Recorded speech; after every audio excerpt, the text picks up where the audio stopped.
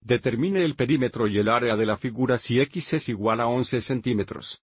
Mirando la figura, observe cómo x es esta longitud aquí, que es el radio del semicírculo. Así que sigamos adelante y etiquetemos que esta r es igual a 11 centímetros.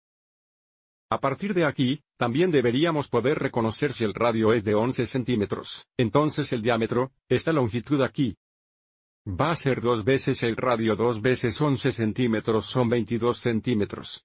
Etiquetemos esta longitud de igual a 22 centímetros.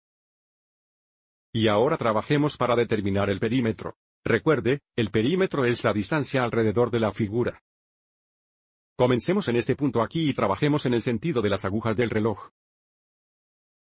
Para comenzar, tenemos una, dos, tres, cuatro longitudes, donde cada longitud tiene un diámetro de 22 centímetros. Entonces, para comenzar, el perímetro es igual a 4 veces d, donde nuevamente d es la longitud del diámetro, y luego tenemos más. Continuando alrededor de la figura, tenemos 1, 2, 3, 4 arcos, donde la longitud de cada arco es igual a la mitad de la circunferencia de un círculo con un radio de 11 centímetros o un diámetro de 22 centímetros. Y cuatro medias circunferencias equivalen a dos circunferencias completas, que tendrían una longitud de 2 veces la circunferencia de un círculo. Podemos usar pi veces do 2 pi r.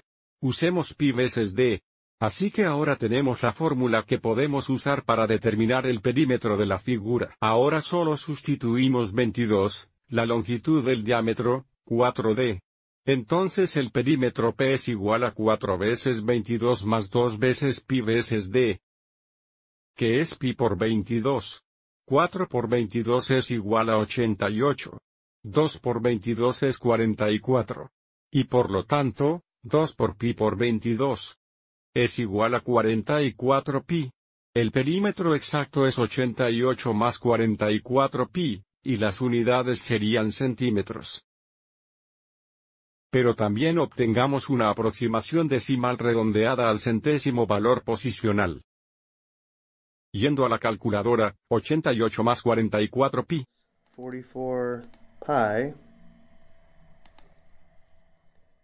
Redondeado a las centésimas el valor posicional es 226.23. Observe que el dígito a la derecha del valor posicional de las centésimas es un 0, lo que indica que redondeará a 226.23.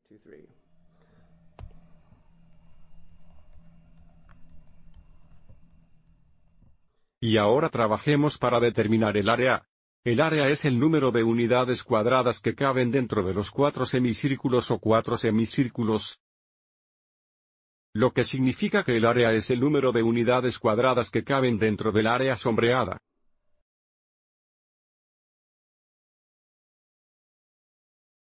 Notaremos que el área de cada semicírculo es igual a la mitad del área de un círculo completo con un radio de 11 centímetros. Y el área de cuatro semicírculos o cuatro semicírculos, es igual al área de dos círculos completos. Y por lo tanto, el área de la figura es igual a dos veces el área de un círculo, que es igual a pi r al cuadrado. Así que aquí está nuestra fórmula para el área de la figura. Observe que para encontrar el área A, tenemos que usar el radio. No podemos usar un diámetro.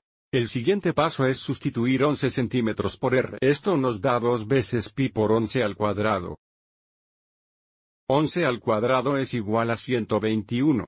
Esto es igual a 2 veces pi por 121.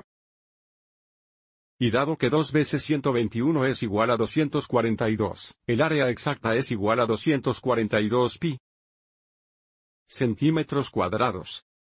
Recuerde, las unidades de área siempre son unidades cuadradas. Y ahora también obtengamos nuestra aproximación decimal redondeada al valor posicional de centésimas. Volviendo a la calculadora, tenemos 242 pi Entrar. Observe que tenemos un 5 en el tercer lugar decimal o el valor posicional de las milésimas. Y por lo tanto, redondeamos a 760.27.